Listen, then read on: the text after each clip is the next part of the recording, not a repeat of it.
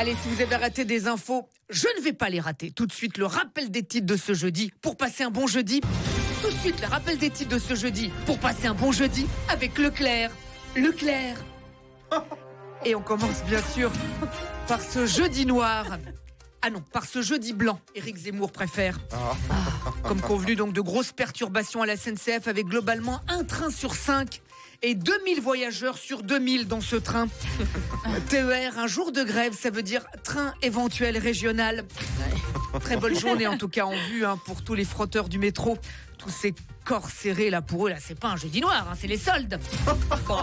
vous l'avez entendu, en raison d'un mouvement d'humeur, une vanne sur trois sera assurée dans cette chronique. Ah les lycéens sont également en grève.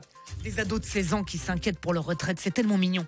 Moi, à 16 ans, je m'inquiétais de savoir quand sortait le nouvel album de Mylène Farmer, s'il restait du coca dans le placard, quel jour je devais, je devais prendre ma douche?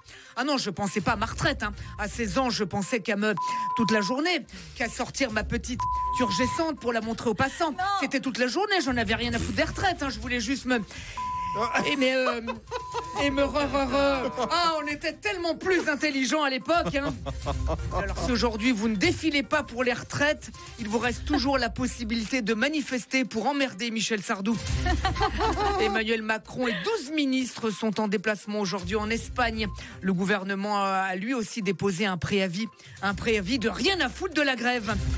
À Paris, les lignes de métro très perturbées sont la 2, la 3, la 4, la 5, la 6, la 7, la 8, la 9, la 10, la 11, la 12 et la 13. Qui changent des autres jours, hein, parce que les autres jours, les lignes de métro très perturbées sont la 2, la 3, la 4, la 5, la 6, la 7, la 8, la 9, la 10, la 11, la 12 et la 13. Le chanteur Marcel Zanini est mort à 99 ah ans. Ah Il était célèbre pour cette chanson. Tu veux, c'est bien si tu veux pas. Oui, tu veux ou tu veux pas c'est marrant, c'est exactement l'hymne de la réforme des retraites. Ah Et là, si j'en crois les sondages, c'est tu veux pas. Voilà, heureusement, dans 347 jours, c'est fini 2023. Allez, portez-vous bien